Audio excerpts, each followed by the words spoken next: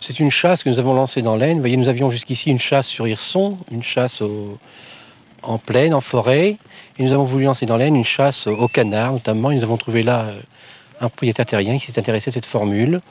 Euh, nous pouvons prendre ici à, Fourdrin euh, une vingtaine de chasseurs à la journée avec un prix de journée bien sûr, qui est déterminé par le propriétaire. Quel est le prix de la journée? Le prix de la journée sera de 250 francs. Mon idée primaire est celle-ci. Euh, j'ai pensé qu'il y avait des gens, un certain nombre de personnes qui voulaient tirer et qui n'avaient pas de terrain pour chasser, euh, que je leur offrais la possibilité de pouvoir venir quand ils le désiraient, avec le calendrier qu'on a établi avec des chasses canards et des chasses faisans, de pouvoir euh, passer une après-midi agréable.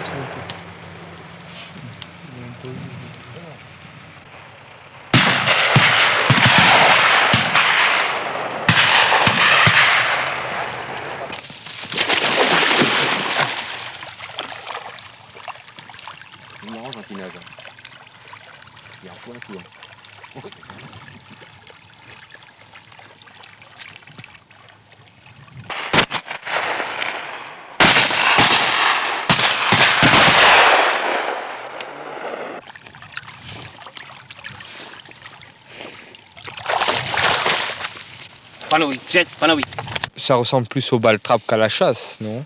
C'est surtout, je pense, oui, euh, c'est intéressant au point de vue tir. On ne peut pas comparer ça à une chasse euh, naturelle, bien sûr, mais enfin, euh, pour tous les gens, si vous voulez, qui, aiment le, tir, qui aiment le tir, un tir vivant, si vous voulez, je pense que cette chasse est intéressante.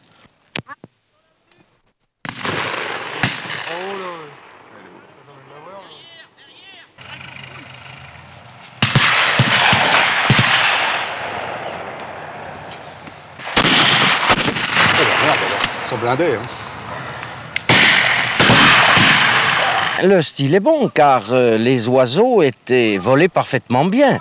Ils volaient très haut et ont provoqué des coups de fusil magnifiques d'ailleurs, à une grande hauteur et par conséquent, euh, euh, le but a été atteint pour les chasseurs.